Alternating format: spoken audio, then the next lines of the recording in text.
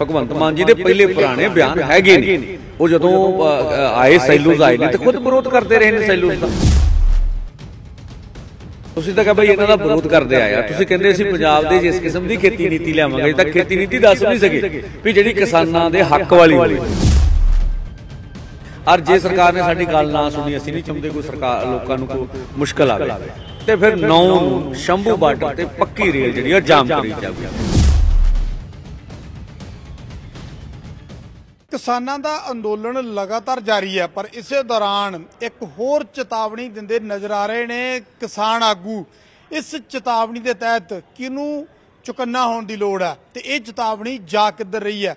ਆਖਿਰ ਇੱਕ ਹੋਰ ਅੰਦੋਲਨ ਛੇੜਨ ਦਾ ਐਲਾਨ ਕਿਉਂ ਕਰ ਰਹੇ ਨੇ ਕਿਸਾਨ ਆਗੂ? ਸਰਵਣ ਸਿੰਘ ਪੰਦੇਰ ਸਾਡੇ ਨਾਲ ਨੇ। ਪੰਦੇਰ ਸਾਹਿਬ, ਪਹਿਲਾ ਅੰਦੋਲਨ ਲਗਾਤਾਰ ਚੱਲ ਰਿਹਾ ਹਰਿਆਣਾ ਦੇ ਬਾਰਡਰਾਂ ਤੇ। ਹੁਣ ਤੁਸੀਂ ਇੱਕ ਸਨੇਹਾ ਹੋਰ ਦੇਣ ਦੀ ਤਿਆਰੀ ਦੇ ਵਿੱਚੋਂ ਇਹ ਜਿਹੜਾ ਦੂਸਰਾ ਤੁਸੀਂ ਐਲਾਨ ਕਰ ਰਹੇ ਹੋ ਕੀ ਉਹ ਐਲਾਨ ਹੈ ਔਰ ਕਿਉਂ ਉਹਦੀ ਲੋੜ ਪਈ ਹੈ? ਹਾਂ, ਦੇਖੋ, ਮੋਰਚਾ ਤਾਂ ਸਾਡਾ ਚੱਲ ਰਿਹਾ, ਦਿੱਲੀ ਅੰਦੋਲਨ 2 ਔਰ ਅੱਜ 50 ਦਿਨ ਉਹਦੇ ਬੜੀ ਸਫਲਤਾ ਨਾਲ ਪੂਰੇ ਹੋਏ ਹੋਏਗਾ ਲੋਕਾਂ ਦਾ ਬੜਾ ਸਹਿਯੋਗ ਆ। ਦੇਖੋ, ਉਹੀ ਕਾਨੂੰਨ ਦੁਬਾਰੇ ਰਿਪੀਟ ਕੀਤੇ ਜਾ ਰਹੇ ਆ। ਜਿਹੜਾ ਸਟੋਰੇਜ ਦਾ ਮੁੱਦਾ ਸੀਗਾ ਐਸੈਂਸ਼ੀਅਲ ਕਮਿਊਨਿਟੀ ਕਾਨੂੰਨ ਜਿਹੜਾ ਕਹਿੰਦੇ ਸੀਗੇ, ਉਹਦੇ ਵਿੱਚ ਸਰਕਾਰ ਨੂੰ ਸਟੋਰ ਕਰਨ ਦਾ ਅਧਿਕਾਰ ਆ। ਹੁਣ ਇਹ ਪ੍ਰਾਈਵੇਟ ਕਾਰਪੋਰੇਟ ਨੂੰ ਸਟੋ- ਸਟਾ- ਸਟੋਰ ਕਰਨ ਵਾਸਤੇ ਦਾਖਲ ਕਰਾ ਰਹੇ ਆ, ਤਾਂ ਉਹਦੀ ਉਲੰਘਣਾ ਹੀ ਕਰ ਰਹੇ ਆ ਅਸਲ ਵਿੱਚ। ਤਾਂ ਇੱਕ ਤਾਂ ਜਿਹੜੀਆਂ 26 ਮਾਰਕੀਟ ਕਮੇਟੀਆਂ ਜਿਵੇਂ ਭੰਗ ਕਰਕੇ ਦੂਜਿਆਂ 'ਚ ਮਰਜ ਕੀਤੀਆਂ ਗਈਆਂ। ਮਾਰਕੀਟ ਕਮੇਟੀ ਮੁਲਾਜ਼ਮਾਂ ਦਰਜ ਕਰ ਗਿਆ ਨਿੱਧੀਕਰਨ ਦੀ ਨੀਤੀ ਆ। ਜਿਹੜਾ ਉੱਥੇ ਪੱਲੇਦਾਰ ਲੱਗਾ ਹੈਗਾ ਉਹਦੀ ਉਹ- ਉਹਦੀ ਗਈ ਹੈਗੀ ਟਰਾਂਸਪੋਰਟ ਦਾ ਕੰਮ ਚਲਾ ਗਿਆ ਹੈਗਾ। ਔਰ ਮਤਲਬ ਉਹ ਜਿਹੜੀ ਸਾਡੀ ਮੰਡੀ ਆ ਪ੍ਰਾਈਵੇਟ ਯਾਰਡ ਬਣ ਗਈ ਹੁਣ ਪ੍ਰਾਈਵੇਟ ਬੰਦਿਆਂ ਦੀ। ਤੁਹਾਡੀ ਤੁਹਾਡੀ ਗੱਲ ਵਿੱਚ ਹੈ ਪਰ ਮੈਂ ਥੋੜੀ ਦੇਰ ਪਹਿਲਾਂ ਚੇਅਰਮੈਨ ਮੰਡੀ ਬੋਰਡ ਦੇ ਨਾਲ ਗੱਲ ਕਰਕੇ ਆਇਆ ਹਰਚੰਦ ਸਿੰਘ ਬਰਸੜ ਦੇ ਨਾਲ। ਉਹ ਕਹਿੰਦੇ ਕੋਈ ਮੰਡੀ ਭੰਗ ਨਹੀਂ ਕੀਤੀ ਕੋਈ ਉਹ ਕਹਿੰਦੇ ਪ੍ਰਾਈਵੇਟ ਕਰਨ ਨਹੀਂ ਕੀਤਾ ਗਿਆ ਉਹ ਕਹਿੰਦੇ ਨਾ ਐਸਾ ਕੀਤਾ ਤੇ ਨਾ ਅਸੀਂ ਐਸਾ ਕਰਨਾ। ਉਹ ਕਹਿੰਦੇ ਨੇ ਕਿ ਇਹ ਟੋਟਲੀ ਅਫਵਾਹ ਦੇਖੋ, ਦੋ ਗੱਲਾਂ ਨੇ।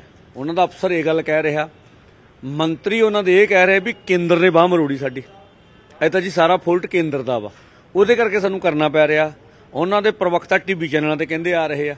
ਠੀਕ ਆ? ਅਰ ਇਸ ਗੱਲ ਦਾ ਉਹ ਵਿਰੋਧ ਕਰਦੇ ਰਹੇ ਨੇ ਵੀ ਨਿੱਜੀਕਰਨ ਦੀ ਨੀਤੀ ਸਰਕਾਰ ਨਹੀਂ ਲਿਆਉਗੀ ਪਹਿਲੋਂ ਵੀ ਜਿਹੜੇ ਅਦਾਰੇ ਪੰਜਾਬ 'ਚ ਪ੍ਰਾਈਵੇਟੇਸ਼ਨ ਤੇ ਗਏ, ਉਹਨਾਂ ਨੂੰ ਦੂਜਿਆਂ ਅਦਾਰਿਆਂ 'ਚ ਪਹਿਲੋਂ ਮਰਜ ਕਰਨਾ ਹੈ ਇਹ ਮਰਜ ਕੀਤੇ ਜਾ ਰਹੇ ਆ।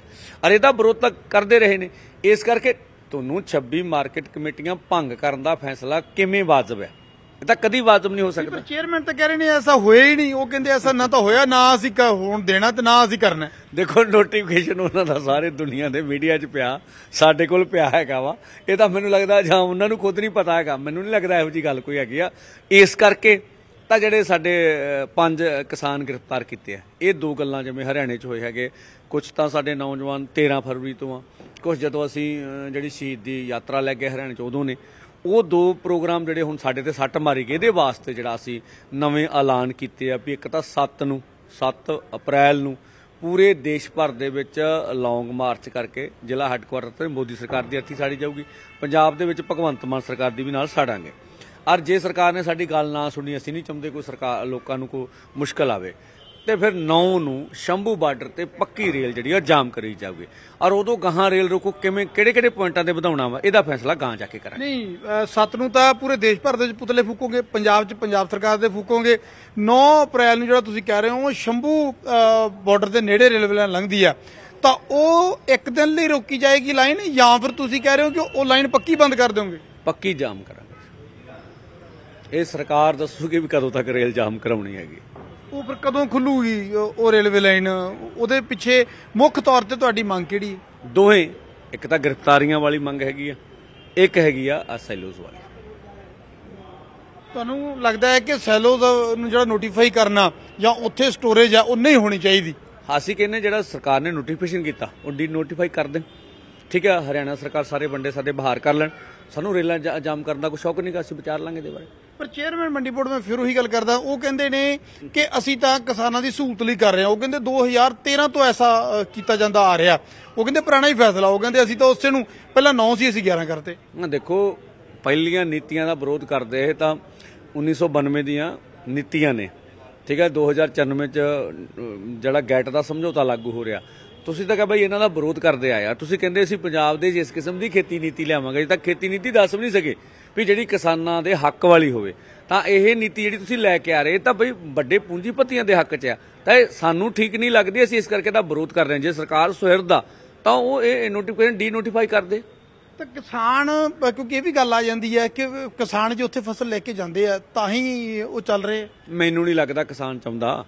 ਉਹਨੂੰ ਗੁੰਮਰਾਹ ਕੀਤਾ ਜਾਂਦਾ ਵਕਤੀ ਤੌਰ ਤੇ, ਜਿਵੇਂ ਹਿਮਾਚਲ ਦੇ ਕਿਸਾਨ ਨਾ ਹੋਇਆ। ਕੁਝ ਸਮੇਂ ਲਈ ਜਦੋਂ ਵੱਡੇ ਬੰਦੇ ਆਏ, ਉਹ ਸੇਬ ਥੋੜਾ ਮਹਿੰਗਾ ਖਰੀਦ ਲਿਆ। ਜਦੋਂ ਛੋਟਾ ਵਪਾਰੀ ਉੱਥੋਂ ਜਾਣੋਂ ਹਟ ਗਿਆ, ਫਿਰ ਉਹਨਾਂ ਦਾ ਅੱਜ ਮਹਿ- ਸਸਤਾ ਵਿਕ ਰਿਹਾ। ਤੋਂ ਜਦੋਂ ਵੀ ਕੋਈ ਨਵੀਂ ਚੀਜ਼ ਆਉਂਦੀ ਆ, ਉਹ ਕਹਿੰਦੇ ਵੀ ਇਹ ਸਾਡੇ ਸੈਲੋ ਦੇ ਵਿੱਚ ਤੁਹਾਡੀ ਮੰਡੀ ਫੀਸ ਨਹੀਂ ਲੱਗੂਗੀ। ਮੰਨ ਲਓ ਸੈਲੋ ਜ਼ਿਆਦਾ ਕਿਸਾਨ, ਸਾਡਾ ਮੰਡੀ ਬੋਰਡ ਦਾ ਰੈਵਨਿਊ ਤੇ ਘਟਿਆ। ਇਹ ਪੰਜਾਬ ਸਰਕਾਰ ਨੂੰ ਲਾਸ ਆ। ਸਾਡੀ ਮੰਡੀ ਦਾ ਕਮਾਈ ਵਾਲਾ ਦਾਰਾ ਵਾ ਦੁਨੀਆ ਦਾ ਏਸ਼ੀਆ ਦਾ ਸਭ ਤੋਂ ਬੈਸਟ ਸਿਸਟਮ ਹੈ ਸਾਡੇ ਕੋਲ। ਅਸੀਂ ਪ੍ਰਾਈਵੇਟ ਸੈਲੋਸ ਤੇ ਕਿਉਂ ਡਿਪੈਂਡ ਕਰ ਰਹੇ ਹਾਂ? ਸਵਾਲ ਤਾਂ ਇੱਥੇ ਨੇ। ਤਾਂ ਮਾਰਕੀਟ ਕਮੇਟੀਆਂ ਤੋੜਨ ਦਾ ਕੋਈ ਮਤਲਬ ਕਿਸੇ ਕਿਸੇ ਸਰਕਾਰ ਵੇਲੇ ਨਹੀਂ ਹੋਇਆ। ਤੁਸੀਂ ਕਿਉਂ ਤੋੜੀਆਂ? ਤੁਸੀਂ ਦੂਜਿਆਂ 'ਚ ਕਿਉਂ ਮਰਜ਼ ਕੀਤੀਆਂ? ਇਹ ਤਾਂ ਨਿੱਜੀਕਰਨ ਦੀ ਨੀਤੀ ਹੈਗੀ ਹੈ। ਸਰਕਾਰ ਨਾਲ ਕੋਈ ਗੱਲਬਾਤ ਹੋਈ? ਸੁਨੇਹਾ ਘੱਲਿਆ ਕਿ ਹਜੇ ਮਹਿਜ਼ ਹਲੇ ਤੁਹਾਡੀ ਤਿਆਰੀ ਚੱਲ ਰਹੀ ਹੈ? ਨਹੀਂ ਦੇਖੋ ਇਹਨਾਂ ਗੱਲਾਂ ਦਾ ਸਰਕਾਰ ਪਹਿਲੋਂ ਵੀ ਵਿਰੋਧ ਕਰਦੀ ਰਹੀ ਆ। ਭਗਵੰਤ ਮਾਨ ਜੀ ਦੇ ਪਹਿਲੇ ਪੁਰਾਣੇ ਬਿਆਨ ਹੈਗੇ ਨੇ। ਉਹ ਜਦੋਂ ਆਏ ਸੈਲੂਸ ਆਏ ਨੇ ਤੇ ਖੁਦ ਵਿਰੋਧ ਕਰਦੇ ਰਹੇ ਨੇ ਸੈਲੂਸ ਦਾ। ਅਕਾਲੀ ਦਲ ਦੇ ਵੇਲੇ ਵੀ ਵਿਰੋਧ ਕਰਦੇ ਰਹੇ। ਤਾਂ ਉਹ ਤਾਂ ਸਾਡੇ ਪੱਖੀ ਸੀਗੇ, ਹੁਣ ਉਧਰ ਕਿਵੇਂ ਚਲੇ ਗਏ? ਹਾਂ, ਮੰਗ ਕੇ ਕਦੀ ਕੋਈ ਮੀਟਿੰਗ ਨਾ ਤਾਂ ਦਿੰਦਾ ਹੁੰਦਾ, ਨਾ ਮੰਗੀ ਹੋਈ ਮੀਟਿੰਗ 'ਚ ਕੋਈ ਫੈਸਲਾ ਹੁੰਦਾ ਹੁੰਦਾ। ਸਰਕਾਰ ਸੁਹਿਰਦ ਹੈਗੀ ਆ, ਉਹਨਾਂ ਦਾ ਪੱਖ ਵਧੀਆ ਹੈਗਾ, ਉਹ ਸੱਦ ਲੈਣ ਸਾਨੂੰ। ਦੁੱਧ ਦਾ ਦੁੱਧ, ਪਾਣੀ ਦਾ ਪਾਣੀ ਹੋ ਜਾਊਗਾ। ਤਾਂ ਸਰਵਣ ਸਿੰਘ ਪੰਦੇਰ ਹੋਣੀ ਸਾਫ਼ ਤੌਰ ਤੇ ਕਹਿੰਦੇ ਨੇ ਕਿ ਅੰਦੋਲਨ ਦੇ ਦੌਰਾਨ ਇੱਕ ਹੋਰ ਅੰਦੋਲਨ ਕਰਨ ਦੀ ਤਿਆਰੀ। 7 ਤਰੀਕ ਨੂੰ ਕਹਿੰਦੇ ਨੇ ਕਿ ਦੇਸ਼ ਭਰ ਚ ਪੁਤਲੇ ਫੂਕਾਂਗੇ, ਕੇਂਦਰ ਸਰਕਾਰ ਦੇ ਤੇ ਪੰਜਾਬ ਚ ਨਾਲ ਪੰਜਾਬ ਸਰਕਾਰ ਦੇ ਹੀ ਫੂਕਾਂਗੇ। ਔਰ ਦੂਜੇ ਪਾਸੇ 9 ਤਰੀਕ ਨੂੰ ਸ਼ੰਭੂ ਬਾਰਡਰ ਦੇ ਨੇੜੇ ਲੰਘਦੀ ਦਿੱਲੀ ਨੂੰ ਜਾਂਦੀ ਰੇਲਵੇ ਲਾਈਨ ਪੱਕੀ ਜਾਮ ਕਰ ਦਿਆਂਗੇ। ਉਹ ਖੁੱਲਣੀ ਕਦੋਂ ਆ ਤੇ ਖੁੱਲਣੀ ਕਿਵੇਂ ਆ, ਉਹਦਾ ਫੈਸਲਾ ਕਹਿੰਦੇ ਬਾਅਦ ਚ ਵੇਖਾਂਗੇ। ਪ੍ਰਮੁੱਖ ਤੌਰ ਤੇ ਜਿਹੜੇ ਹਰਿਆਣਾ ਦੇ ਵਿੱਚ ਕਿਸਾਨ, ਨੌਜਵਾਨ ਕਿਸਾਨ ਗ੍ਰਿਫਤਾਰ ਕੀਤੇ ਗਏ ਨੇ, ਉਹਨਾਂ ਦੀ ਰਿਹਾਈ ਤੇ ਦੂਜਾ ਮਸਲਾ ਸੈਲੋਜ਼ ਪਲਾਂਟ ਦੇ ਵਿੱਚ ਫਸਲ ਦੀ ਸਟੋਰੇਜ ਨੂੰ ਲੈ ਕੇ, ਜਿਹੜਾ ਕਹਿੰਦੇ ਨੇ ਕਿ ਨੋਟੀਫਾਈ ਕੀਤਾ ਗਿਆ, ਇਸ ਨੂੰ ਡੀ ਨੋਟੀਫਾਈ ਕੀਤਾ ਜਾਵੇ, ਫੈਸਲਾ ਵਾਪਸ ਲਿਆ ਜਾਵੇ। ਵਰਨਾ ਕਿਸਾਨਾਂ ਦਾ ਅੰਦੋਲਨ ਇਸੇ ਤਰ੍ਹਾਂ ਜਾਰੀ ਰਹੇਗਾ। ਕੈਮਰਾਮੈਨ ਰਜਿੰਦਰ ਕੁਮਾਰ ਦੇ ਨਾਲ ਨਪਿੰਦਰ ਸਿੰਘ ਬਰਾੜ ਨਿਊਜ਼ 18 ਚੰਡੀਗੜ੍ਹ।